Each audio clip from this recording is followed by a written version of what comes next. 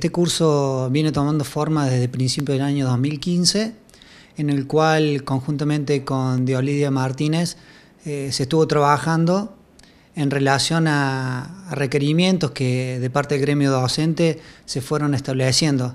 Eh, estamos muy contentos porque, bueno, eh, conjuntamente con Secretaría de Trabajo, para este año se ha dado la oportunidad de ya estar lanzándolo, ¿no? Así que el viernes es el primer encuentro en el cual estamos muy expectantes para ver eh, y dar inicio a, este, este, nuevo curso que se denomina eh, Jubilación eh, Premio Castigo. ¿Por qué se ha elegido justamente esta temática? ¿Por qué ha sido demandada? ¿Cuál es la razón? Bueno, es una temática realmente que ya hace un tiempo está muy en boga.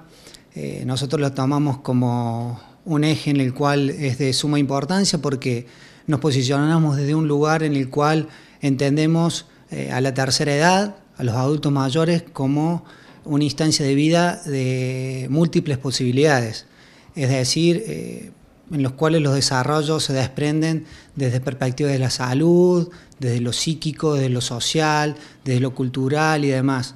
Eh, no entendemos a, esta etapa de la vida como algo cerrado, sesgado, en lo cual las posibilidades se acaban, sino como antes te decía, es una etapa de la vida en la cual existen múltiples, múltiples posibilidades y que es necesario trabajarlas, pulirlas, y ese es el gran objetivo del curso, ¿no?